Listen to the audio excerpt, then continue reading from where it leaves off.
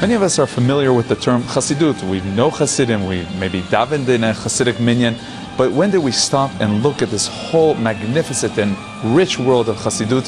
Here in the Israel Museum, there's an opportunity to do so. As we see here, a special and unique entire exhibition dedicated to the world of Chassidut.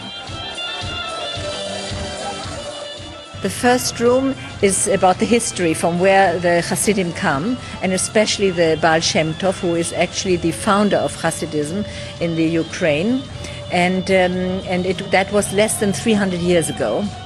And in that room we have photographs, uh, but we have also some objects, like for instance the prayer shawl, the talit of the Baal Shem Tov. And we have this wonderful chair here, which belonged, not that one, this is a replica, but it's exactly like the original, which belonged to Reb Nachman of Breslav.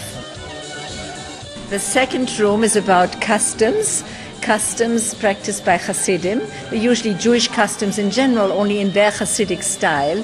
It's all photographs and it's uh, the photogra- photographers are uh, famous photographers, and therefore they're not only the the uh, customs are interesting, but also the quality of the photographs is important.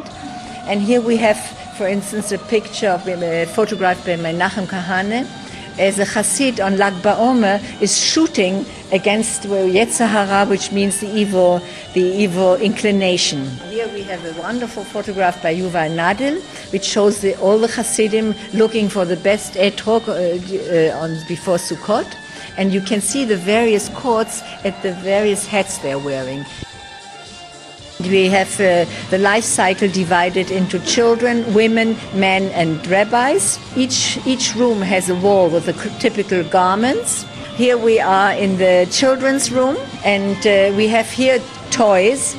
And with the toys, if you have a look at the, at the pictures of the rabbis, Hasidic rabbis, of course, uh, these pictures are put into the baby pram uh, from very early on so that the little baby from early on understands who are the important personalities and ideally copies them later on in life.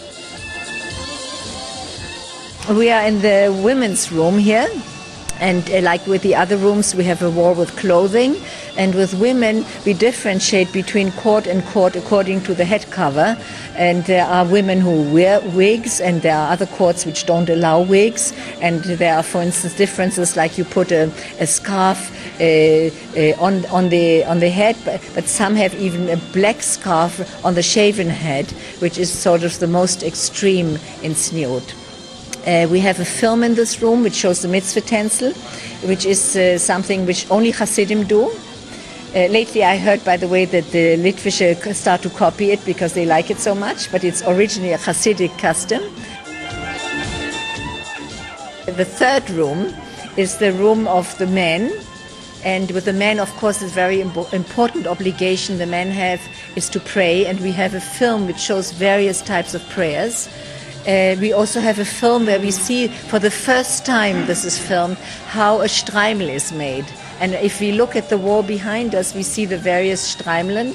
And we see also, for instance, there is a different kind which is a spodik, which looks differently, which is uh, worn by Polish uh, Hasiduyot.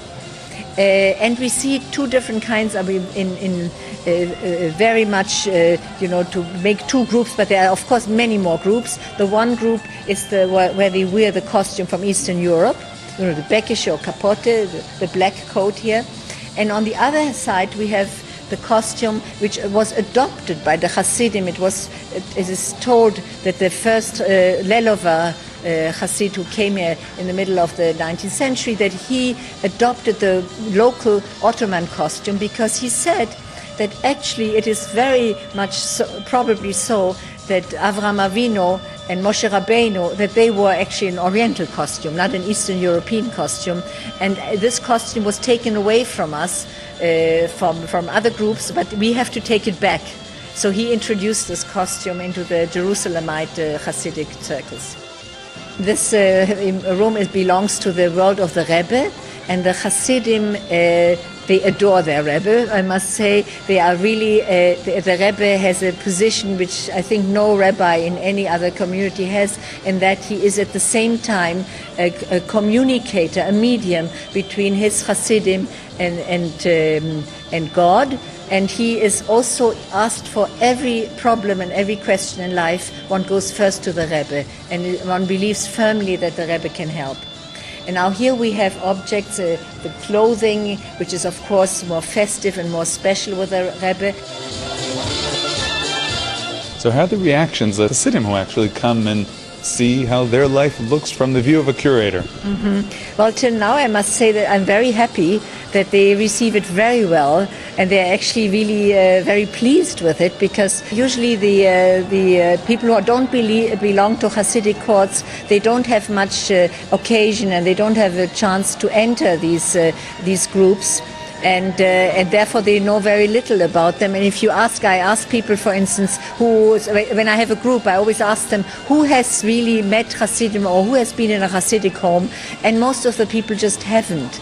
And I want to a little bit to you know to make the effort to bring people closer to each other. And uh, I think that everybody who has a sincere interest and who really wants to know them and comes with an open mind and an open heart, it's really not that difficult.